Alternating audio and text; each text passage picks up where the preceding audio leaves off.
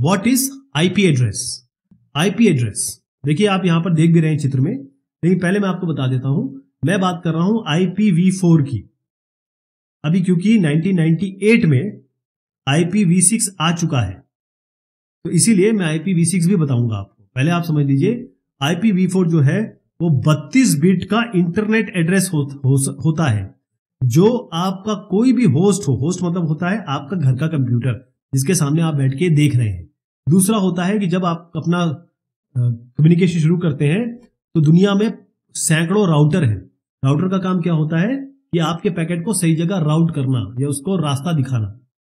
Okay तो ये आपको यूनिकली बत्तीस एड्रेस आपके सिस्टम को यूनिकली पहचानता है। आप, यही काम है इसका। तो इसमें देखिएगा कि जो पोर्शन ये पहले बता दूँ, ये कैसे बत्तीस है? ये आठ बिट है डॉट आठ बिट डॉट आठ बिट डॉट आठ बिट कितने हो गए? एट फोर सा बत्तीस बिट हो गए। ठीक है जी? इसी तरीके से आईपीवी सिक्स जो होता है, वो 128 बिट का होता है। ध्यान रखिएगा, ये 128 बिट का IPv6 का पैकेट जो एड्रेस होता है, वो ये होता है। इसका एड्रेस जो होता है, वो एट फोर सा थर्टी टू थर्टी टू आपके बिट हो गया इसमें। तो यहाँ पर कितना हो गया?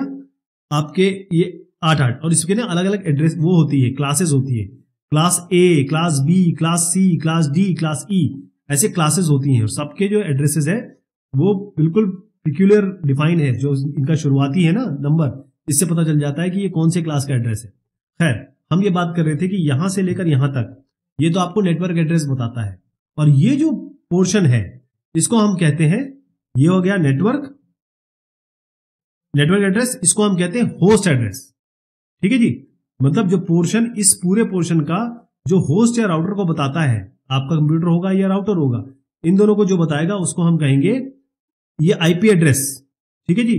और इसके बाद ये जो पोर्शन है, इसको हम कहेंगे होस्ट आईडी तो ये हो गया आपका नेट आईडी ये हो गया आपका होस्ट आईडी ये नेट आईडी ये होस्ट आईडी ध्यान रहेगा?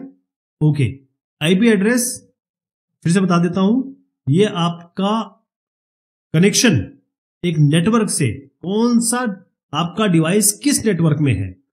और कौन सा, कौन से नेटवर्क में आपका कौन सा डिवाइस है, ये आईपी एड्रेस आपको बताएगा। एक चीज़ और बता देता हूँ इसको।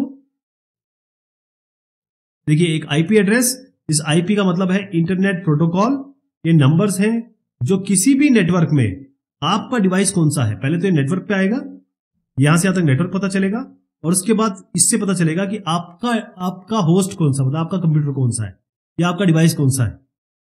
तो इसी आईपी एड्रेस का यूज़ करके पूरे इंटरनेट पे या पूरे नेटवर्क पे आप बात करते हैं।